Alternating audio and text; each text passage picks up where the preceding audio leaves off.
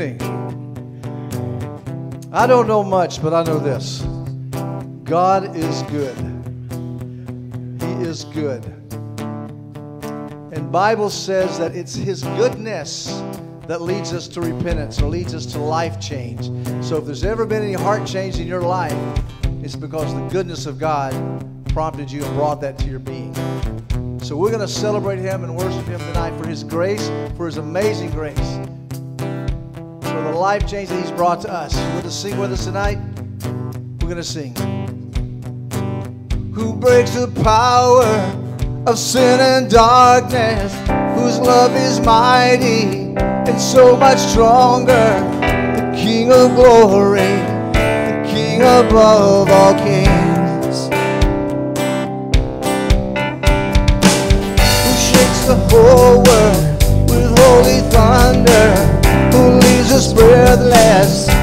and wonder, the King of glory, the King above all kings.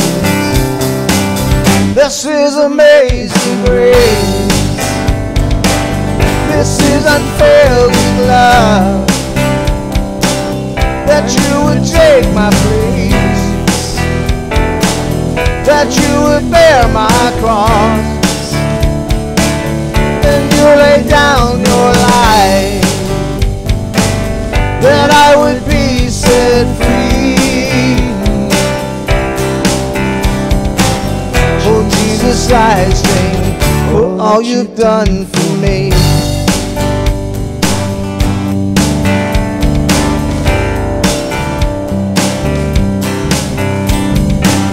Who brings our chaos back into order? Who makes the orphan a son and daughter? The King of glory, the King of glory.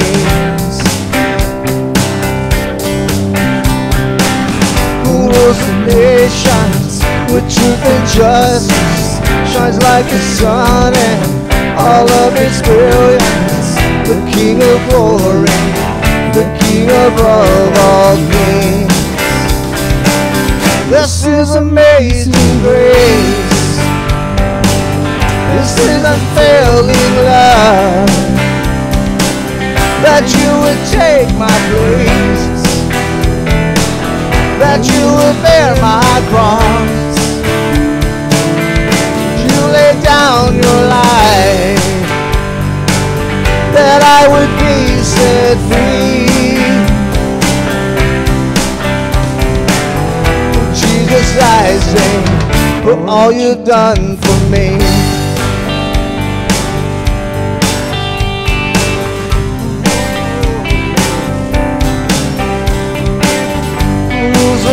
The nations with truth and justice.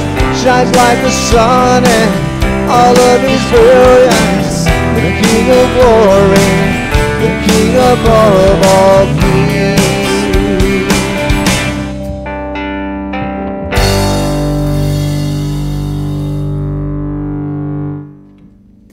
Welcome to Holy Trinity.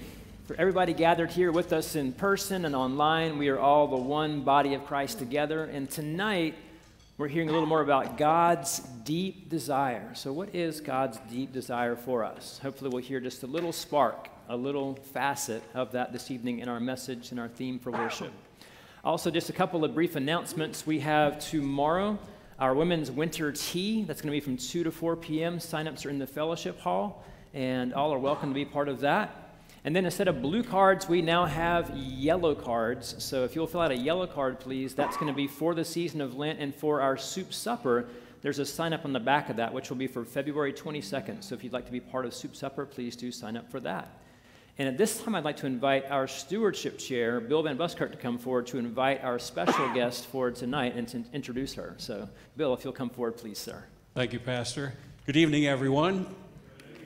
We are excited and honored this evening to have Pastor Anna Lugo from the ELCA Foundation.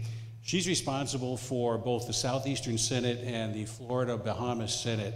And she was instrumental uh, last year in putting together our new endowment program, which we're going to launch this weekend at all three services.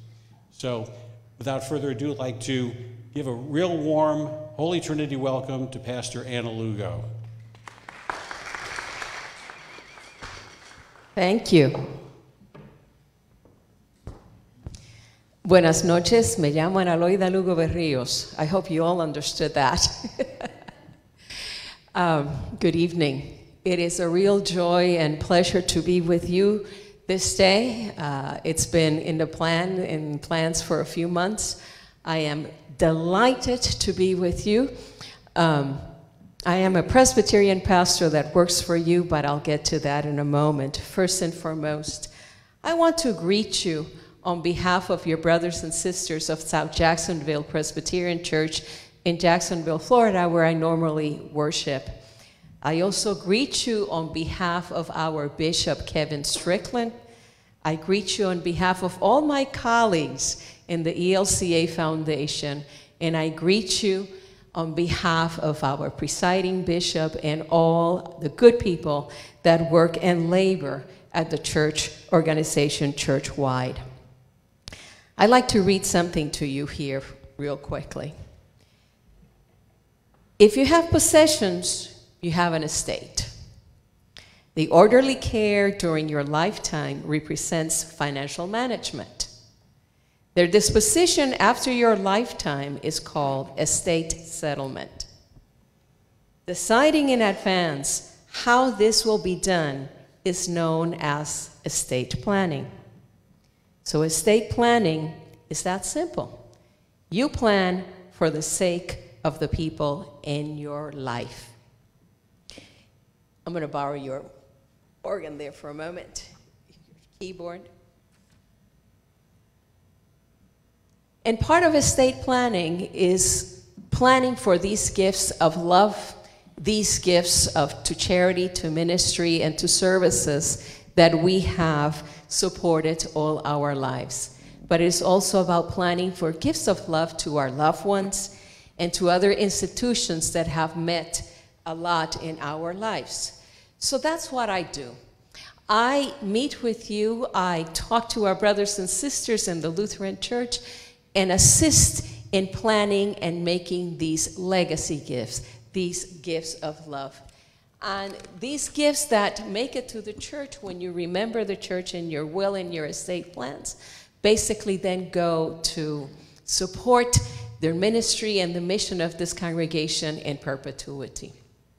So that's the beauty about legacy planning, that it's a gift that you plant today, is given at a later time, but it continues then to give to those whom you love and those whom you have supported for, well, a very, very long time.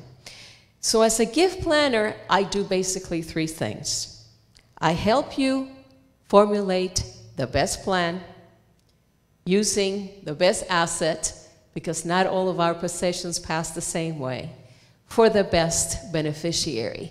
Because there are certain rules and things that apply better to giving to ministry and charity, and giving to family and individuals. So, the bottom line, my brothers and sisters, is that your legacy plan is a statement of faith. Your legacy plan is like the exclamation point in your life because it's a reflection of that which you have believed and that which you have supported and that which you have loved. I invite you to come and listen then to my presentation after worship. I don't sell anything. I don't have any expectation of anything except to present to you what are your options with the ELCA Foundation to make these kinds of legacy gifts so that that which you have loved and supported through your lifetime may continue when we are no longer here. And there's absolutely no obligation to do anything. But I invite you to come and listen because I can pretty much promise you that you will learn something new and perhaps get you thinking in terms and in directions that you did not think that were possible before. So please join me after worship. I understand there's going to be some food. Food is always good. When Lutherans gather and Presbyterians too, we eat, correct? So I hope you will join me. And again, Pastor, I am so happy to be here uh, to be with you this weekend. Thank you.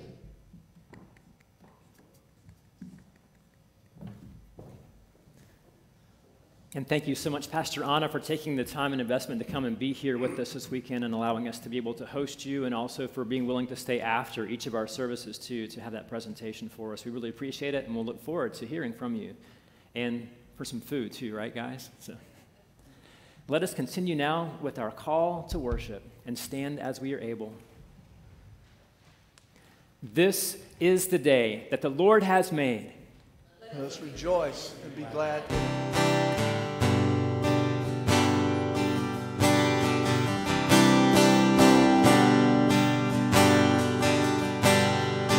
I searched the world,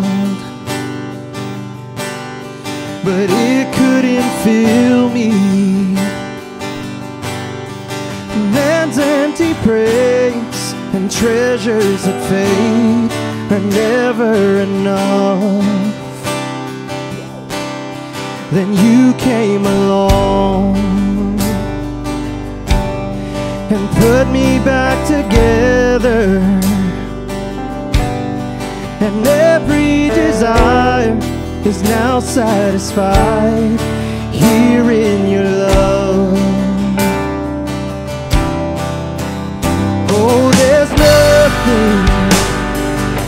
Better than you. There's nothing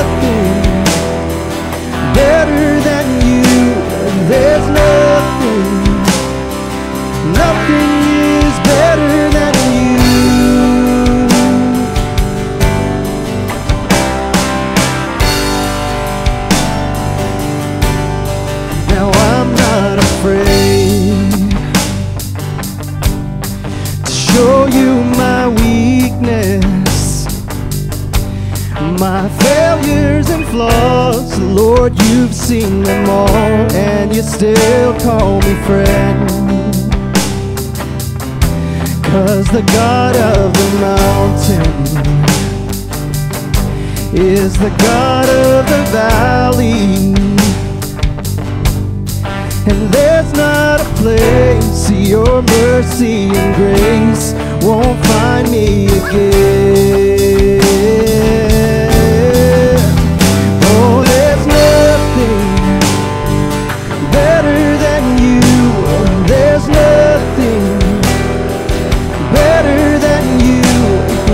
There's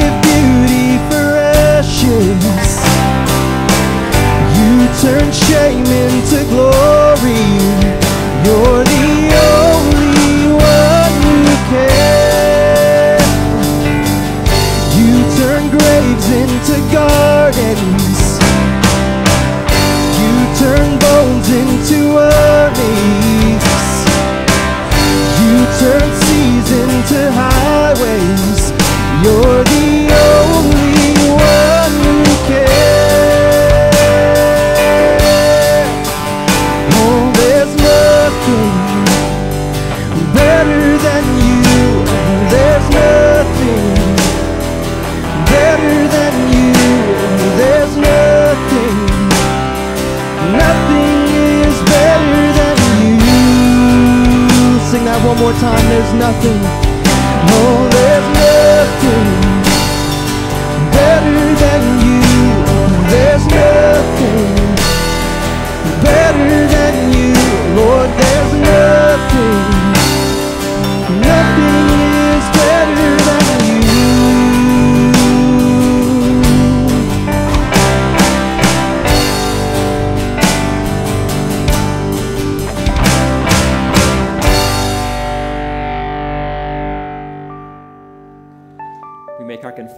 God and with each other.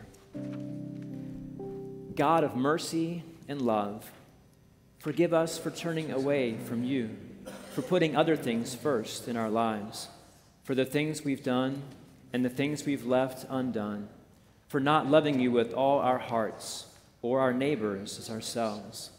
Heal us, forgive us, and strengthen us to walk in the light of your love again.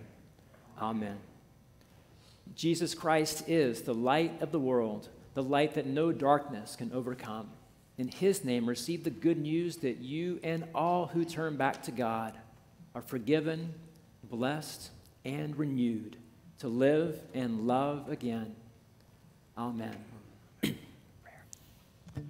Father, we thank you that you are worthy of our praise, that you are gracious and kind and good, and your mercies are fresh and new every day, and we need your mercies.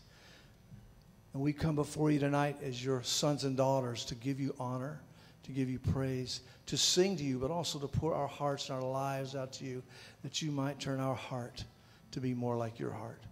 Thank you, Jesus for who you are and what you have done on the cross and in the resurrection for us. And to you tonight be the glory. In your name we pray. Amen.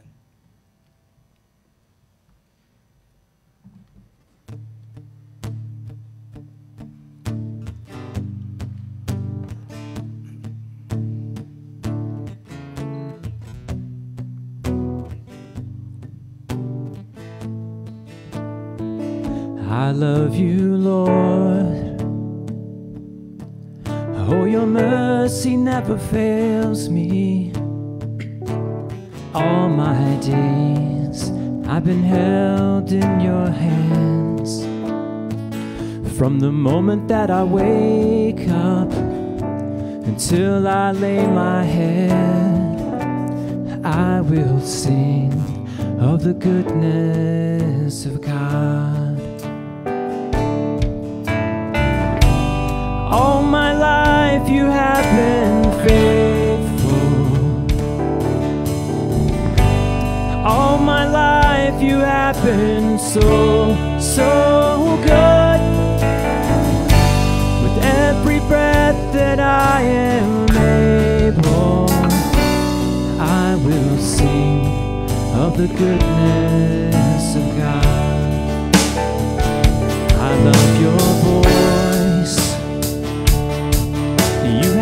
led me through the fire in darkest night. You are close like no other. I've known you as a father. I've known you as a friend, and I have lived the goodness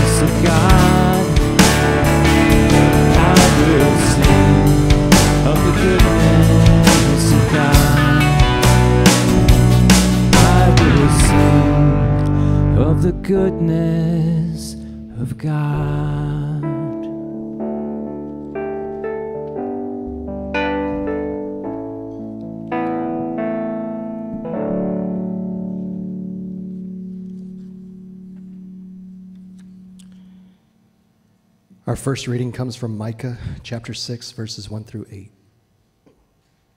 Hear what the Lord says Rise, plead your case before the mountains, and let the hills hear your voice. Hear, you mountains, the controversy of the Lord, and you enduring foundations of the earth. For the Lord has a controversy with his people, and he will contend with Israel. O my people, what have I done for you? And what have I wearied you? Answer me. For I brought you up from the land of Egypt and redeemed you from the house of slavery, and I sent you before Moses, Aaron, and Miriam. O my people, remember what King Balak of Moab devised, what Balaam, son of Beor, answered him, and what happened from Shittim to Gilgal, that you know the saving acts of the Lord. With what shall I come before the Lord and bow myself before God on high? Shall I come before him with burnt offerings? With calves a year old? Will the Lord be pleased with thousands of rams, with ten thousands of rivers of oil? Shall I give my firstborn for my transgression, the fruit of my body for the sin of my soul? He's told you, O mortal, what is good, and what does the Lord require of you but to do justice and to, do, and to love kindness and to walk humbly with your God? Our second reading comes from 1 Corinthians chapter 1 verses 18 through 20. The message about the cross is foolishness to those who are perishing, but to us who are being saved it is the power of God. For it is written, I will destroy the wisdom of the wise, and the discernment of the discerning I will thwart. Where is the one who is wise? Where is the scribe? Where is the debater of this age? Has not God made foolish the wisdom of the world?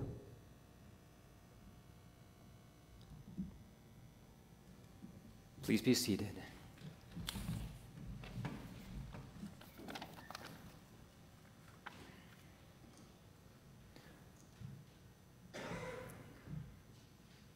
So, what is God's deep desire? What if we could know that? How could that change how we would respond to the Lord? Well, I think we get a taste of it tonight in Micah 6 8. O mortal, what does the Lord require of you? But to do justice, to love kindness, and to walk humbly with your God.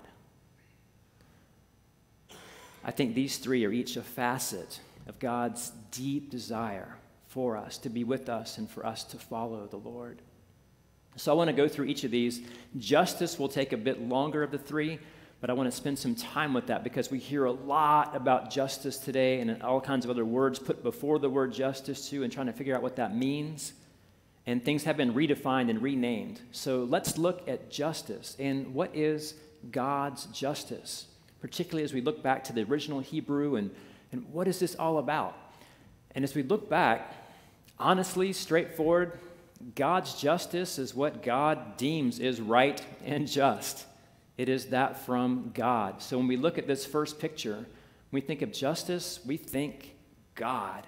God is at the center of what is just and right.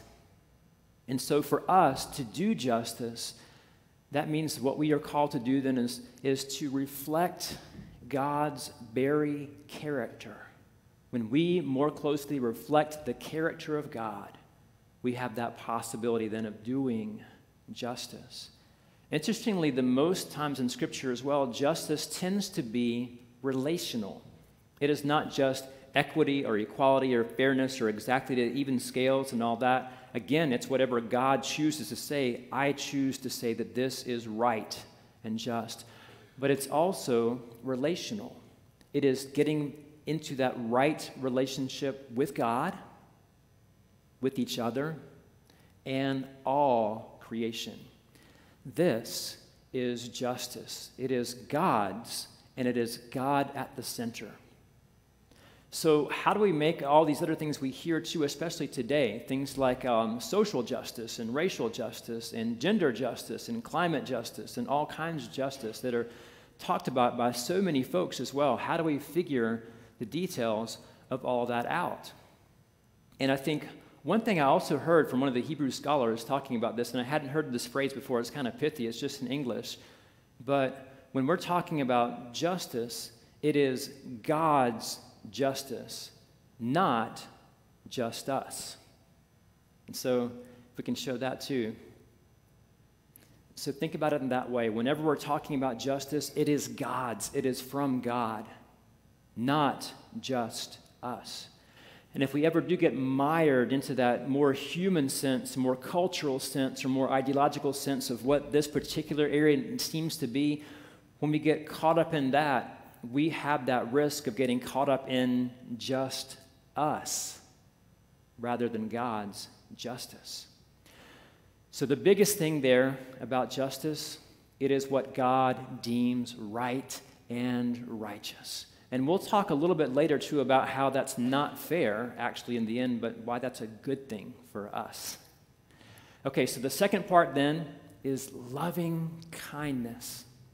Remember, we talked about love before. It's not just that little nice feeling, it's action and doing. It's much deeper than that, especially agape love. And when I think kindness, this is at least what comes to mind for me. Next picture, please. That was from our yard. This must be a Japanese maple lily. Is that what that is?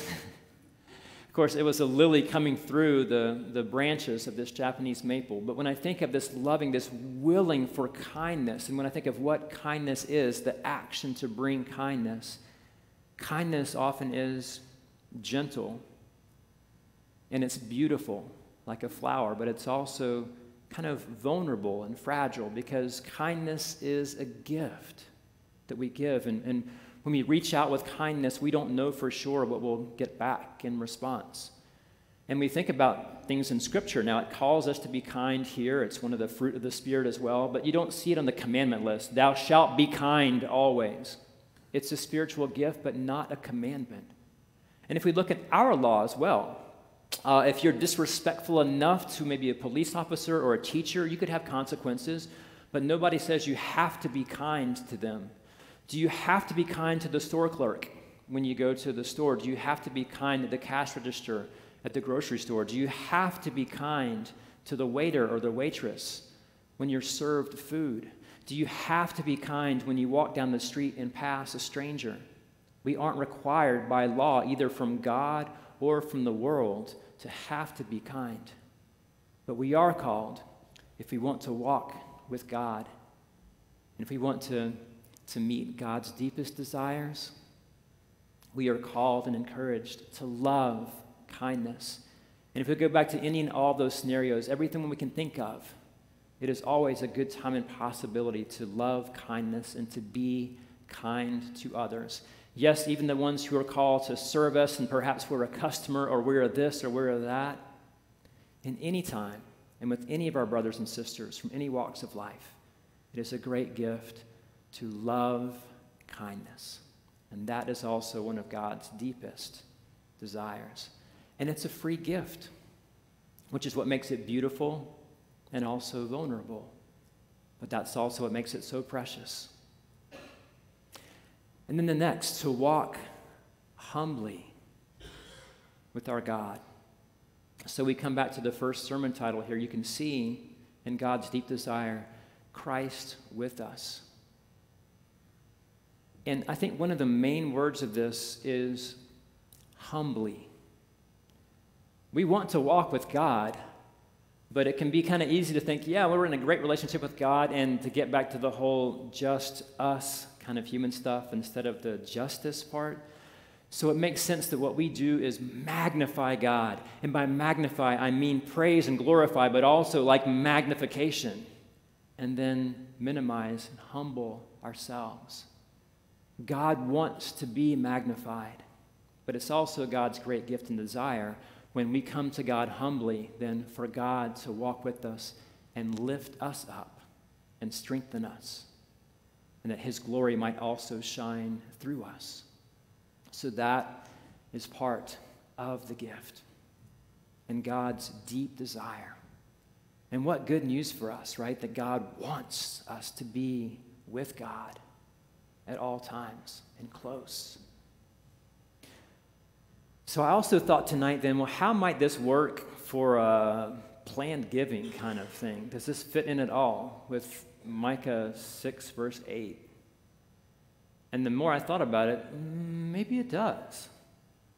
I mean, how, how do we do justice in, in leaving a legacy? Well, if it's, if it's about God, right? And that's what we hear that justice is about. It is about God, with God at the center. Then, if we're going to try to reflect God's very character, then it makes sense that we do this with the kind of generosity and ministry that God has first done with us. It does seem like a sign of reflecting God's character.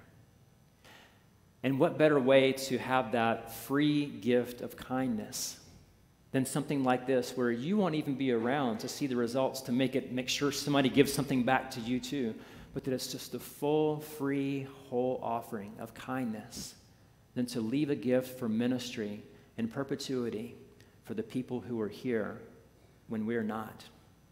And then the third part, to walk humbly with God as we are preparing for that walk, for the next stage, to be there with God in heaven. What greater preparation than to leave that legacy like God has first done with Christ and the cross and leaving the Spirit after for all those who are still walking humbly in this life, to leave a legacy for their walk as we prepare for our next walk with the Lord. So maybe in the end, all of it kind of fits with planned giving for us.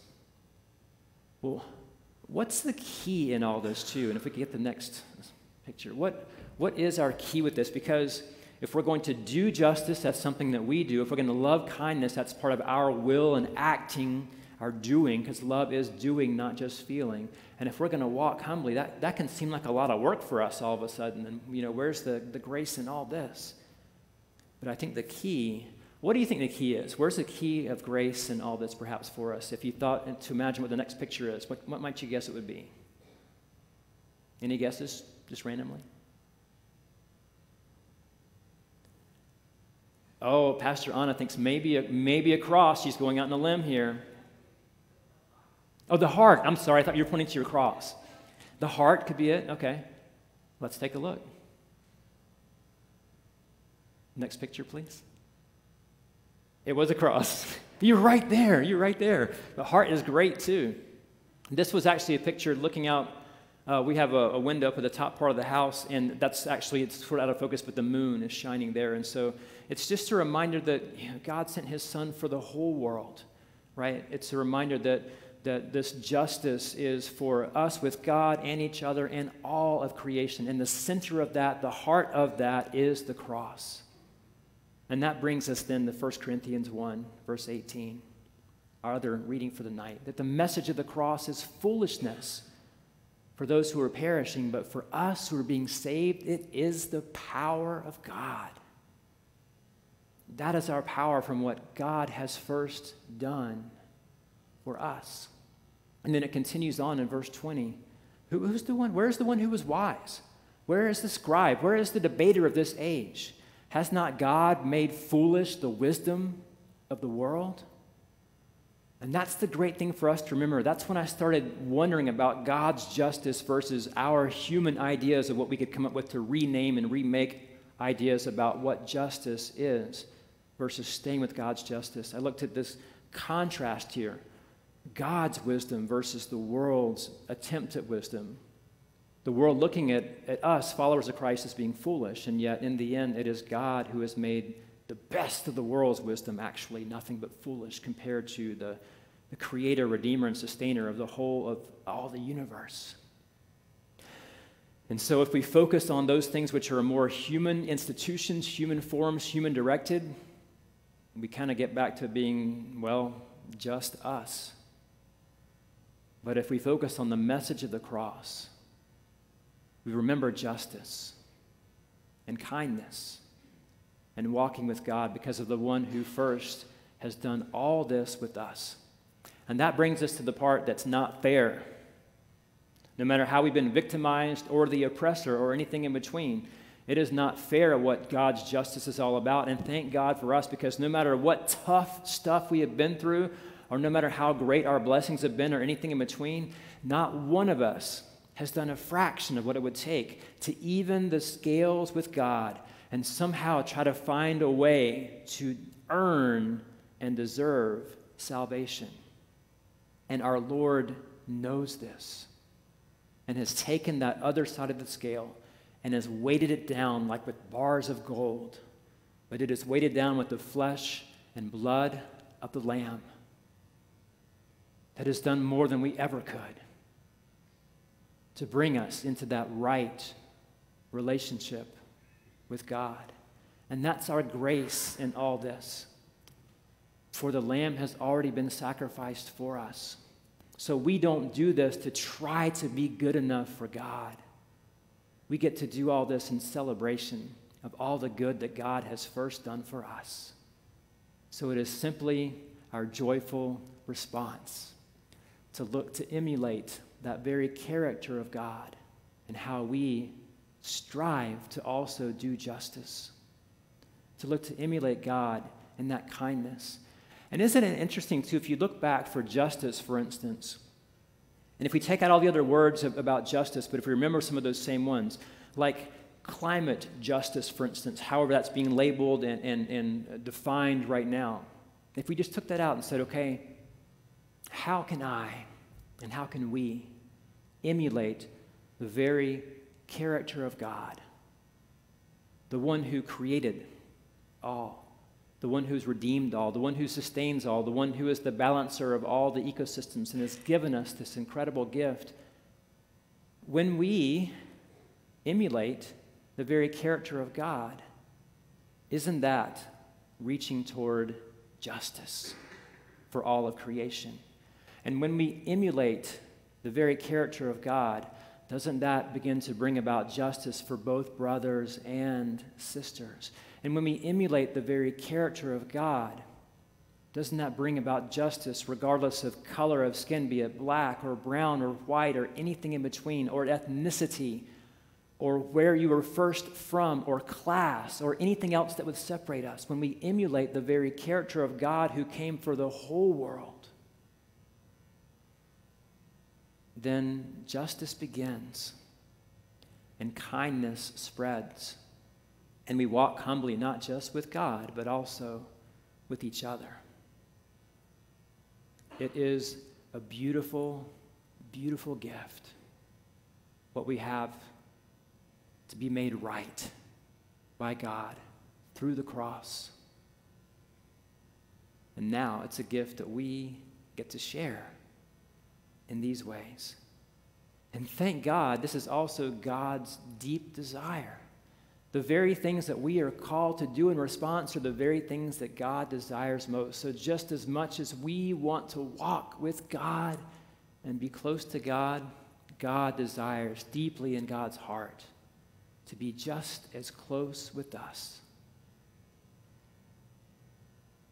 So, tonight, the good news also is in this walk of justice and kindness and with God humbly. We get to continue the journey with God right here and right now, sharing the message of the cross with the world. So, I'm curious then, what will be our next step? On the journey with God. Amen.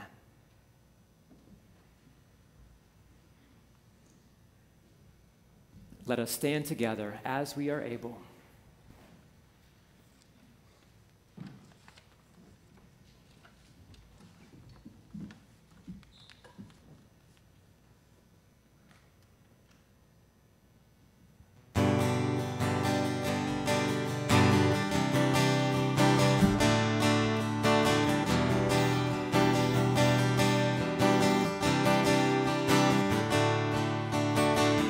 Nothing I want that your love doesn't offer.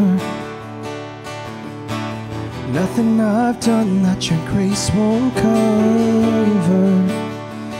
It's not over till you say so.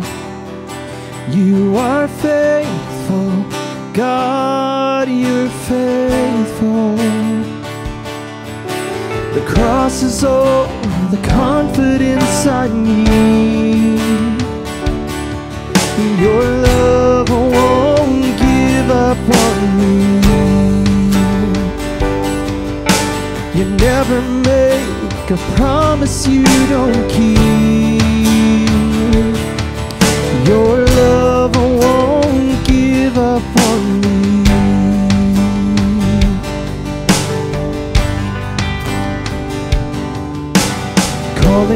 back to the place where I started.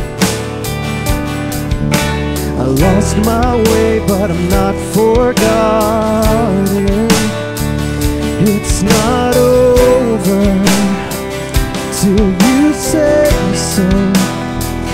You are faithful, God, you're faithful.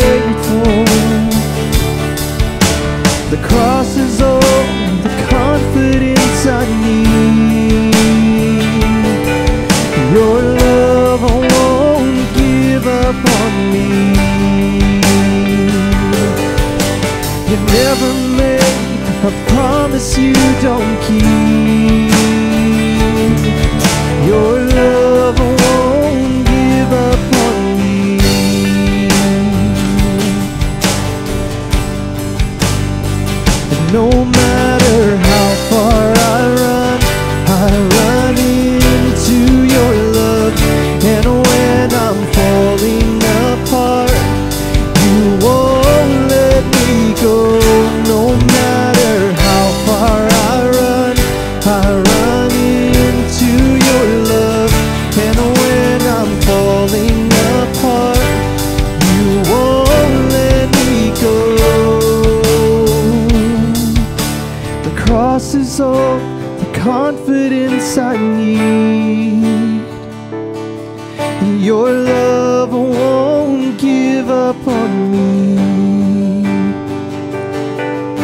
You never make a promise you don't keep.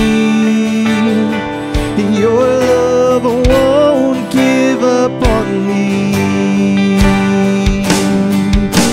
The cross is all the confidence I need. Your love won't give up on me. You never make promise you don't keep.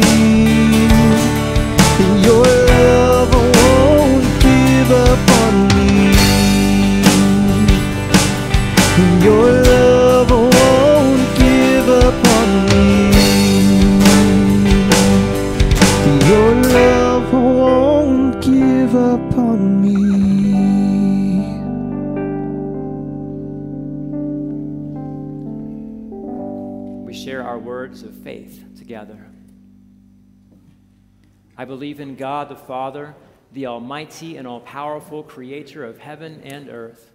I believe in Jesus Christ, God's one and only Son, who was conceived by the power of the Holy Spirit and born of the Virgin Mary. I believe Jesus suffered at the hands of Pontius Pilate, was crucified, died, and was buried. He descended to the dead. Three days later, he rose again. He ascended into heaven, where he is seated at the right hand of God the Father. And one day he will return to judge the living and the dead. I believe in the Holy Spirit, the one holy church, the communion of saints, forgiveness of sins, the resurrection of the body, and the life everlasting. Amen. The peace of the Lord be with you always. Let us share a sign of God's peace with each other. Peace be with you.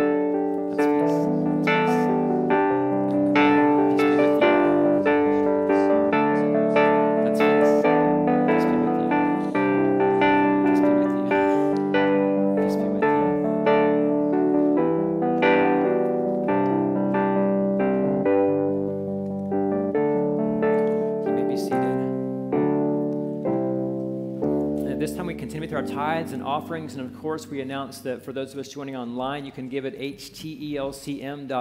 I also was just thinking you won't be able to stay after if you're online for the talk, though, too. So if you want to know more about Pastor Lugo and what some of the opportunities are, um, just let us know in the comments, too, or contact us at the office, and then we'll make sure to, to hook you up and make sure you can be connected with Pastor Lugo as well.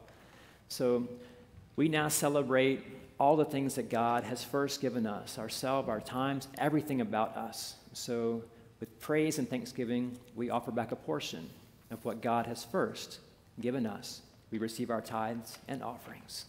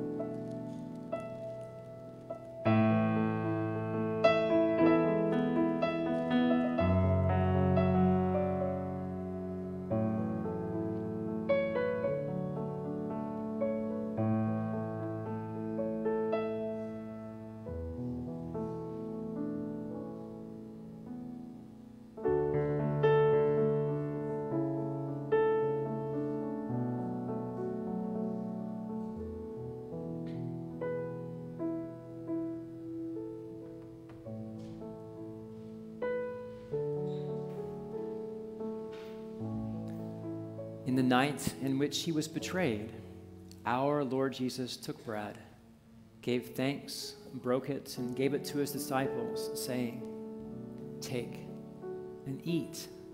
This is my body, given for you. Do this for the remembrance of me.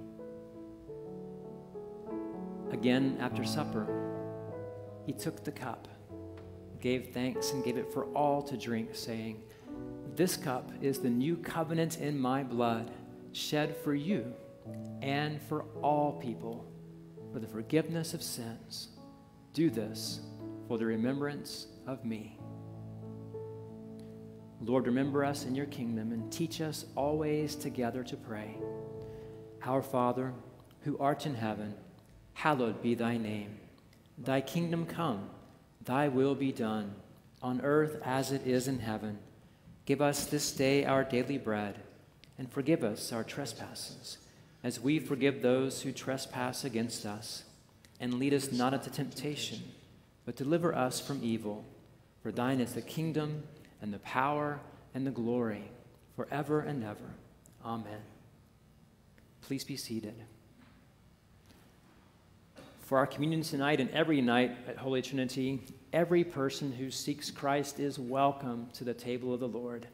The meal is ready. Come, let us eat together. Our ushers will invite you forward.